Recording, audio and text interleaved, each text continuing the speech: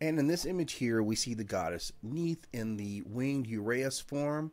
We see lots of symbols here. And the first symbol we see, if you see my arrow here, is the solar disk, obviously a symbol of power. And between her wings, you see the Shen, Shen ring, which is another form of power. The Udjat eye also represented there.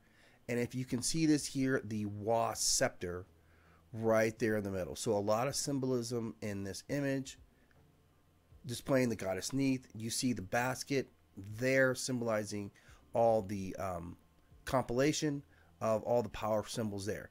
And of course, her in the form of the Uraeus, a snake form, which is showing the passing of knowledge.